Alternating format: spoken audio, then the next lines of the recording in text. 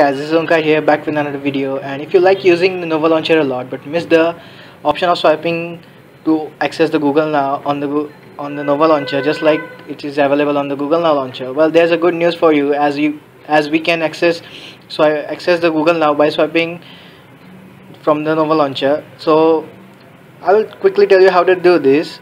So without any further ado let's get started so guys first of all you'll have to install the Nova launcher the latest beta version in order to use the Google Now integration in the Nova launcher. And one more thing is that you'll need the companion app for enabling the Google Now on the Nova launcher. So you can download this APK of the companion app from the APK mirror website and I'll link the I'll put the link down in the description below. So once you've installed the Nova launcher make sure you have set it to default like going into the settings of the Nova launcher select it as a default launcher and after that you can after that you have to go you have to install the downloaded APK the companion APK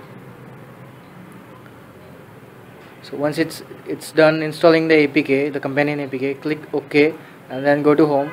And just like the Google Now launcher you can use the Google Now on the Nova launcher as well by swiping it to the right.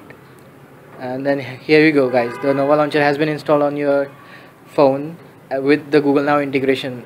So thanks thanks for watching guys. If you like this video please do subscribe and give thumbs up. Thanks for watching